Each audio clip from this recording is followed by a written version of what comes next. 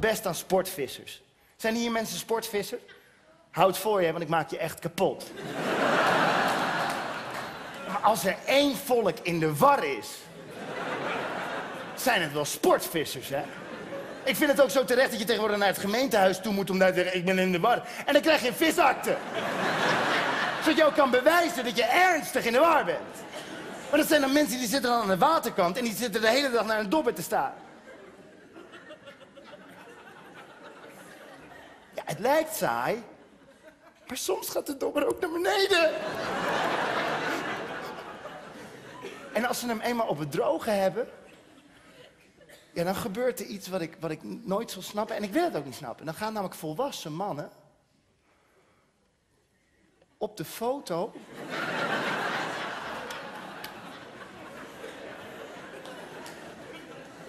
met een vis. Dan ben je ernstig in de war.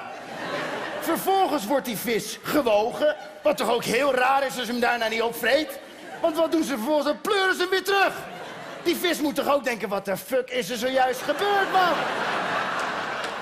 Wacht even, ik kwam aanzwemmen. Ik zag iets glitteren, hup, hap.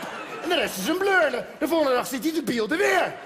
En die vangt weer een vis. Oh, deze is een kilo groter dan die van gisteren. En die vis denkt alleen maar, ja, ik heb wat gegeten in de tussentijd. Wat denk je zelf? En als de vrouwtjes vissen, ze nou, volgens mij klopt die weegschaal niet. Het is echt te achterlijk voor woorden.